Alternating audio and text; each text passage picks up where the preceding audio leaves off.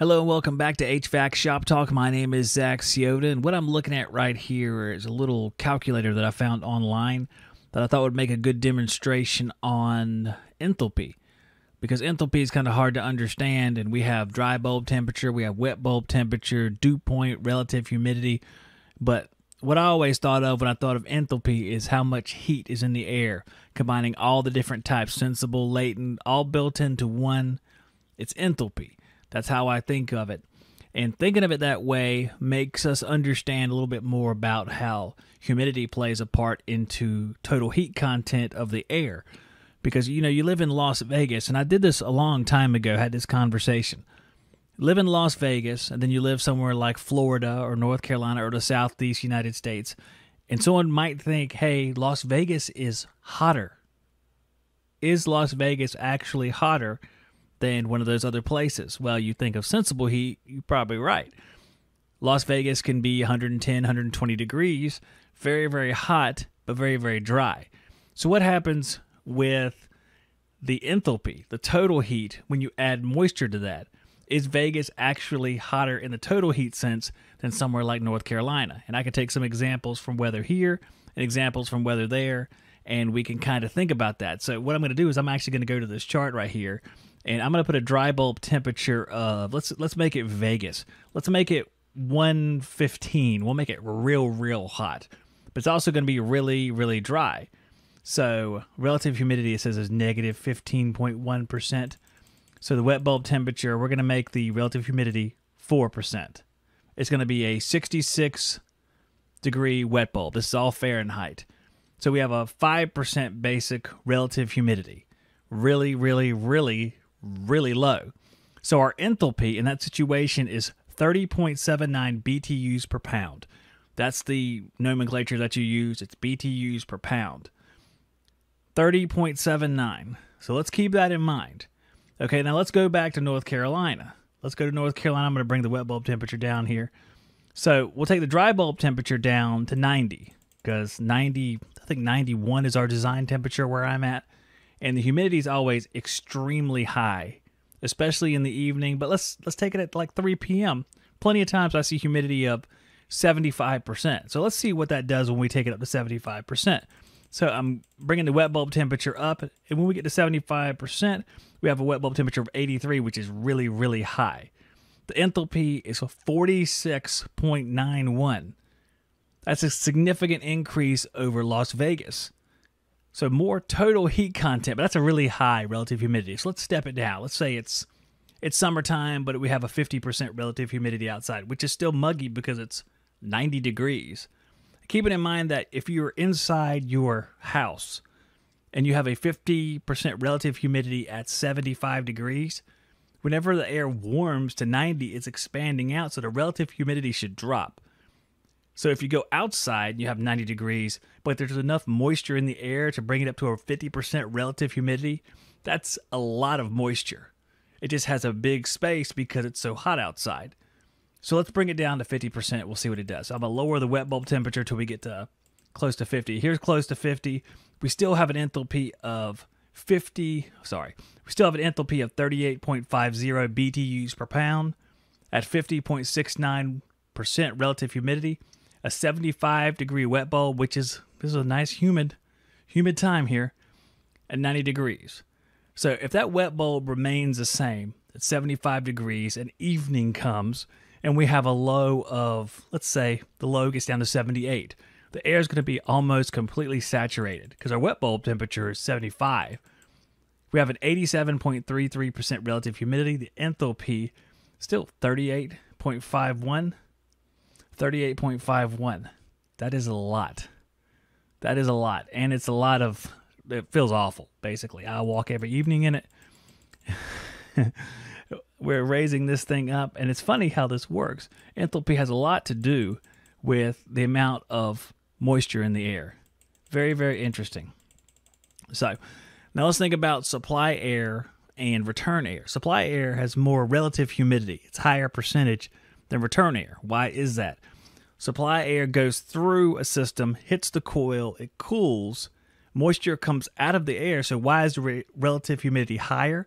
It's because the space in the air is lower. The volume of the air, because it cools, is tighter basically. There's less room for water. So even though there's less water in the air, because there's less room, you have less space available. Meaning your relative humidity, even though you have less water, is higher because the space is tighter. It basically like you have six people in your family and you live in a 2,000 square foot house, which is it's about what I got here. And then you take your six people and you move into a studio apartment that has two rooms. You have the same amount of people, but your space is a lot tighter. That's what it's like. Even if you were to have one, let's say my son's going to college, we're down to five people, let's say. In the studio apartment, still overall, you have less percentage of free space. So, percentage of people to open area is still higher than in the big house even though you have less people because there's less space. The same way with supply air. Let's take a look at this. So let's see what happens when we have a dry bulb temperature entering a return in the summertime of, let's say, 75. 75, and we'll say the humidity in the house is 50%. 52.05 is what we come up with here. Our wet bulb temperature would be 63, so says the chart here. Dew point 56.17, 28.5 T 28.52 BTUs per pound. I'm going to write that down. 28.52 BTUs per pound. All right, that's what's going in. So typically, you'll see a split when your airflow is perfect in the enthalpy between return and supply of around 6.7, I'll say degrees, but 6.7 BTUs per pound in between return and supply. I should say that. Shouldn't say degrees. So let's see what happens when we lower the temperature down to 60. And of course, we have to lower our wet bulb temperature down too. We lower our wet bulb temperature, and we see the BTUs per pound is down to 23.18 at a 55 degree wet bulb at 60 degrees. Relative humidity is 73.52, so it's higher. So let's see, 23.18. 23.18, we're not quite there. So if I subtract that out, we're still Let's see, five point. Doing math on the fly, it's hard. We're still just over five. So if I take off a couple more points of that wet bulb temperature, let's say, and we're down to 21.99. See, 21.99 off 28. That's a lot closer. That's we're looking at about 6.52. That's close enough where I think we can use that. So we have 60 degrees dry bulb, 53 degrees wet bulb, a dew point of 47.62, relative humidity of 63.62%. So the relative humidity went up to 63. See, it raised up because there's less space in the air. Our enthalpy is 21.99, and we could really go lower than that to hit that perfect mark. And the perfect mark comes from the capacity formula. So you want to find the capacity of a unit. We can kind of understand why I'm mentioning the 6.7 BTUs per pound. But that's just an example of what would happen as far as relative humidity from return to supply. Our sponsor, Navac, is running a promotion from May the 1st all the way till September 30th of this year. And when you purchase a qualifying vacuum pump, you get two free products. You choose two out of the following three the NHB1 3 8 inch to 1 quarter inch evacuation hose, the NHB2 the 1 half inch to 1 quarter inch evacuation hose, or the NVR1 core remover. So there's two really nice free items every time you get one of the qualifying vacuum pumps. You can find out more at Navac Global and you can purchase these things at TruTechTools.com, but use our Shop Talk discount code if you purchase from TruTech to save 8%. So let's uh, let's take a look at that capacity. So if we want to find the BTUs of something, we're going to multiply CFM times delta H, which is enthalpy, delta H, times 4.5. And that number is a constant that is just to signify that we're calculating sensible and latent heat together. So CFM times H times 4.5. We'll use a three ton system, nice and standard. In fact, let's make it two and a half. A thousand CFM is going to be easy to work with. So two and a half ton, let's say it's perfectly 400 CFM per ton yeah, it's like a unicorn. So it's a unicorn that gets struck by lightning. It's so rare. That also won the lottery. So 1000 CFM times delta H. So our delta H then in our previous example, if we started out at 28.52 and got down to 21.99, that is going to be 6.53. It's 6.53. So we're multiplying 1,000 times 6.53 times 4.5. And uh, because I have my phone right here, I can use this as my calculator. And I see my, my son is texting me simultaneously, of course. And uh, what should I do? My son's still awake, so I'm going to say, just be quiet. Just be quiet, man. Okay. Don't ever text me again. So I'm going to take 1,000 and multiply that by our 6.53 times 4.5. So that's 29,385. So we have about two and a half tons right there. So that kind of steps right in line there. See, 6.53, and I was talking about 6.7. That's how close we were. So let's take that. Let's say 6.7 times, and I was changing enthalpy I'm talking about, 6.7 times 1,000 times 4.5. That's 30,150. So it's actually like 6.67 is the actual perfect one. So you see how it comes out.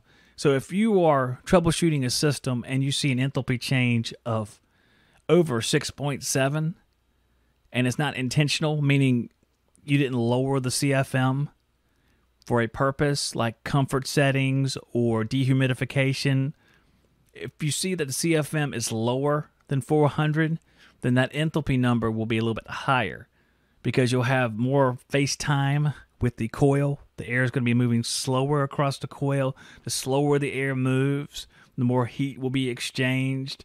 But there is a trade off between sensible and latent because the slower the air moves across the coil, the lower the suction pressure is going to be, the lower the superheat or just the suction pressure, as in TXV is going to try to keep that superheat up within reason. So the pressure is going to go down in that coil. Then at the other end of the system, you're going to have issues as far as compression ratio. There could be a lot of issues in the system if the airflow goes too low. Freezing is one of the most basic ones we all understand. If the pressure is low, the temperature goes down, the unit freezes. If you have a piston, let's go back to Las Vegas. If you have a piston in Vegas, your target superheat may be zero or just above zero because it's so dry. TXV is probably golden in Vegas, I would think. I have never been to Las Vegas before, but I would think that because the target superheat is always going to be so close to zero, you are constantly worried about flooding, especially when you had a condenser, not a heat pump that doesn't have an accumulator as a safety right there, right before the compressor. I would really be worried about that sort of thing. Plus, they're going to be running all summer long in Vegas. Okay, guys, that's I want to just go over that stuff right here. Just uh, put a comment down below. What do you think? Is there something I could have done differently? What do you think about the subject matter right here? Is it something that you uh, would like to learn more about? I would love to teach you more about it. I know this sort of thing a little bit, so I could teach you. I could teach you this stuff. Enthalpy is really important to understanding how an HVAC system works because it takes into account all the types of heat that we deal with, not just a sensible heat, which is just one part of the equation. If you only look at sensible heat, you're not going to understand what the system is doing because let's say home inspectors, a lot of times they go in there and say, I want to see this kind of temperature drop. Why do you want to see that number? I want to see 12 to 18 degrees. I've seen that a lot. 12 to 18. That is a huge span right there. If you're at 12, you have to increase by 50% to get to 18. That's a big gap. Why is it 12 or 18? And if a system is supposed to be 18 and is running at 12 and he gives it the thumbs up, isn't that problematic? Because the system could be in midst of a pretty significant failure, whether it be compressor failure, from a lack of compression. It could be a lack of refrigerant in the system. It could be a whole lot of different stuff duct issues, duct leakage, a lot of things that kind of get around that sort of philosophy. 12 degrees can be your target temperature split. If the air is saturated with moisture, you can see from the chart here, if the air is saturated, there's a lot of heat in the air that has to be removed, not just sensible heat. All that moisture is going to try to be drawn out of the air a significant portion is going to be drawn out of the air. But when you're doing that, it's taking a lot of your capacity and diverting it away from sensible into latent. So you're not going to get that huge split that you would if it was really dry outside. If you're in Vegas, you have an air conditioner, your temperature split, your target might be in the 20s. because it's there's no latent heat in the air. It's all sensible. Therefore, you can kind of you can boost your fan up a little bit more sometimes because you're not treating that sensible uh, heat or not treating that latent heat because it ain't there. so there's a little bit more freedom as far as the fan and everything, but there's a, other pitfalls like the, the piston issue and stuff like that that'll arise when, when you're in that situation. So that's just a little bit about temperature split. Temperature split is very, very important because it can be a great it can be a great asset when troubleshooting if you're a service tech. It can be a confirmation that what you're doing is correct if you're installing, commissioning, or servicing. And it's a great thing to just to know about. So when you're doing something else, like you're changing a run capacitor and you start up a system and you're measuring temperatures in and out, you can have a rough idea. And you want to be measuring temperatures with a thermometer. There's plenty of them available that are really cheap. I like finding tools that are cheap so every man can afford them. You know, a lot of us have these target tools out there that we really want that cost millions of dollars, but have something that measures relative humidity or just humidity and sensible temperature. So you can get enthalpy. A lot of them will give you enthalpy right there on the screen, and they're less than 100 bucks. You can get something tells you what the enthalpy is, but at least you'll know what the relative humidity and sensible temperature is so you can know somewhat what you should expect on the other end. Like if you have 80% relative humidity, you know your temperature split's going to be like closer to 12 than it is to 20. But if you have a relative humidity in your return of 40%, then you're going to be closer to 20 or maybe even over 20. So you'll have a rough idea. And if you have a 40% and all of a sudden you're getting out uh, like 12, there might be something else to check right there. Or if you're supposed to be getting 12 and you're getting 20, then your airflow may be really crappy, really, really crappy. Just put your hand over the vent. If it's really blowing hard, you know, you're good to go. If it's the only vent blowing hard, that might be a problem. Time for a duct booster fan, everybody. No, I'm just kidding. I'm just kidding. It's hardly ever time for a duct booster fan. Hardly ever. Like to let the homeowners wire them in themselves. That's what we should do. All right, guys, if you have any questions, put them in the comments below. If you're listening to this as a podcast, you can always email me at hvacshoptalk at gmail.com. My name is Zach Ciota. I am the host of the HVAC Shop Talk podcast. I've been hanging around YouTube for a long time. If YouTube was a high school, I would be the guy, the janitor that's been working there for 20 years, pushing the thing, and the kids going, Who's that guy? he was like, he used to be on here a long time ago with other guys, but now he's he's just I don't know what he's doing here. That's me, Zach. Good to see you guys, and I will uh, I'll see you on the next one.